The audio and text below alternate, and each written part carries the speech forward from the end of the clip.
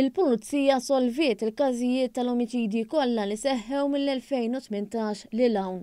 Innota dan is-Supretendent mill-Iskwadra tal-Omiċidji Keith Arnaud waqt il-programm One Breakfast. Huwa spjega kif kull każ jagħti sfida differenti.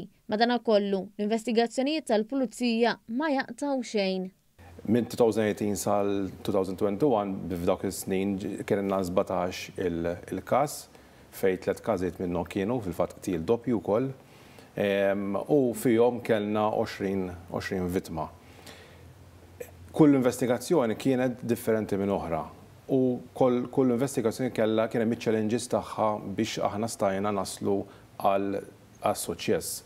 Arnaud spjega kif il-Pulizija bdiet anke ssolvi każijiet illi jmorru aktar lura mill-2018. Sena l-oħra, ġifieri, apparti l-każijiet li ssolvew ta' dik is-sena, ġew reveduti wkoll u tressqu nies il-Qorti fuq każijiet li seħħew 2015, 2017 u anke 2018.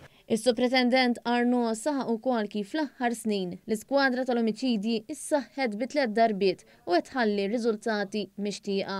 17 L hawn qegħdin tliet timijiet ta' investigaturi u l-uffiċċju tiegħi li wkoll għandi l-investigaturi fl-uffiċċju li flimkien, però ovvjament mhux weħedna, magħna għandek timijiet oħrajn forensiċi, cyber crime, financial crime, kull skwadra li ovvjament fid-dinja ta' 2022 il-korp qed jinvesti fihom.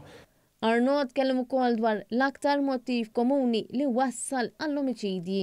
Jekk qed nieħdu matul dawn is-snin, l-aktar mottiv komuni kien proprju dawk ta' każijiet domestiċi, fejn kellna sebgħa li rriżultaw għall-inqas li kienu marbutin ma' omiċidju relatati ma' każijiet domestiċi.